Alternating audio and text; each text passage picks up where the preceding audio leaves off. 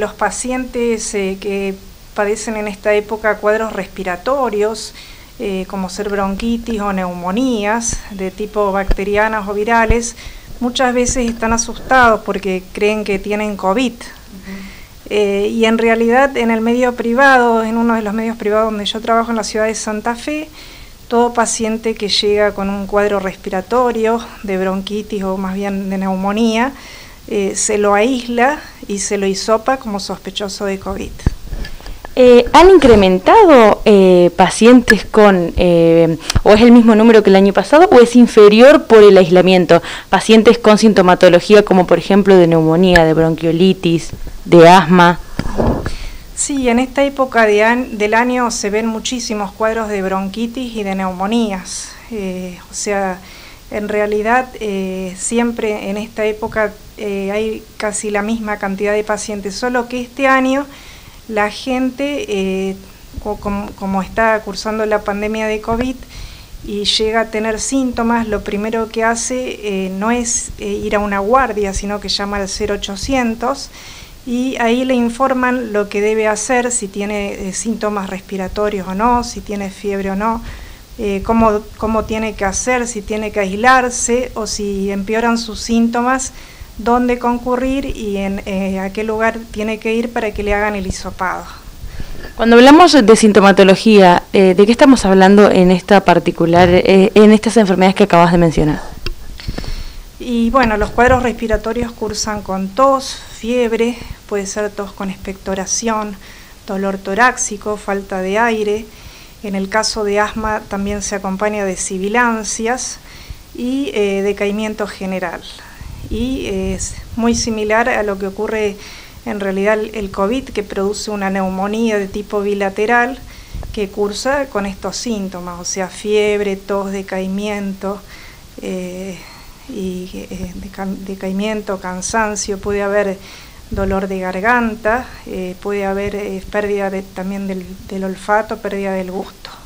¿Hay algún síntoma de entre los que acaba de mencionar que, que sea propio de COVID o que la gente que por ahí tiene una neumonía o no llega a ser neumonía, tiene un cuadro respiratorio más leve, pueda saber que lo diferencia del COVID o son muy similares?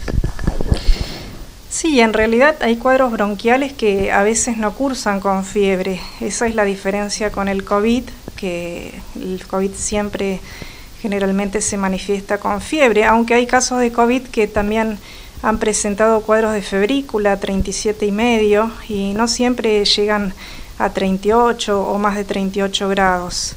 Eh, a veces es difícil eh, dilucidar si, si puede ser o no COVID pero siempre hay que tener en cuenta eh, los contactos estrechos, a dónde estuvo el paciente en los últimos 15 días, un mes, si ha, viajado a zonas eh, donde está más acentuada la pandemia.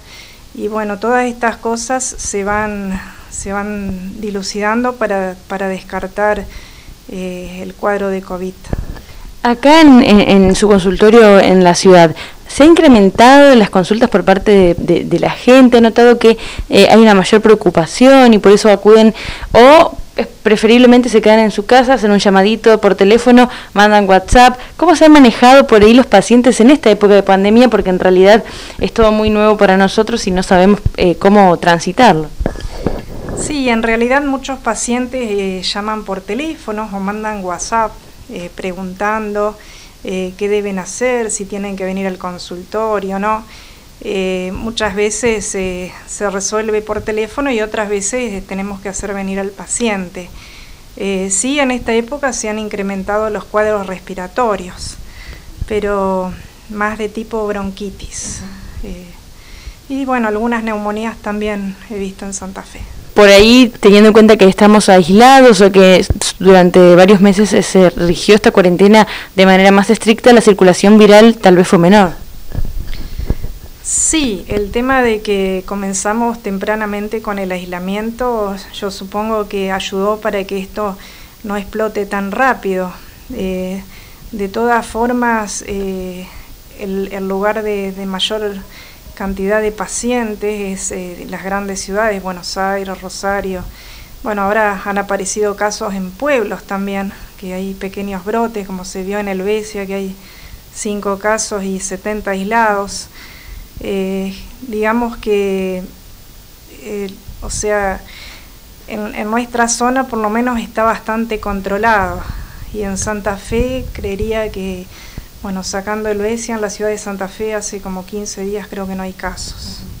Doctora, la última, quería consultarle a la gente eh, que padece de asma de manera crónica, eh, es un paciente de riesgo, tiene que tener cuidados más estrictos en por esta pandemia.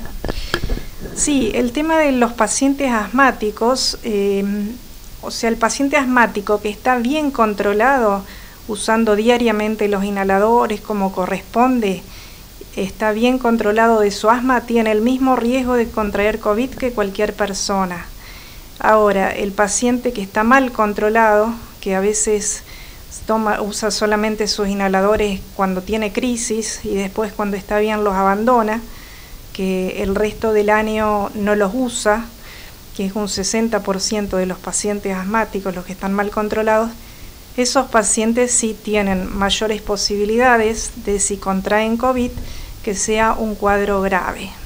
Bueno, es importante destacar lo que acaba de mencionar porque es muy común, como mencionó anteriormente, que la gente asmática solamente utilice el inhalador en, en crisis. Uno no las ve eh, con el inhalador cada tantas horas de manera seguida y es importante por ahí que si alguien nos está viendo que realice este tipo de, de, de, intervención, que realice este tipo de tratamiento, pueda hacer una consulta y realizarlo de mejor manera.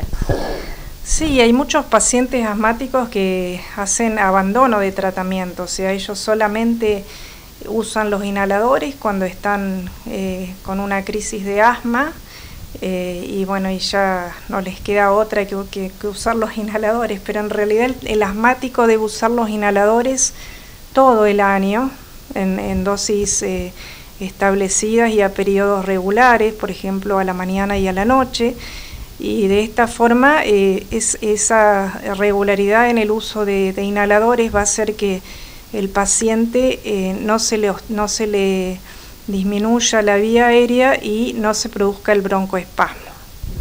Como de manera preventiva. Exactamente, es como de manera preventiva.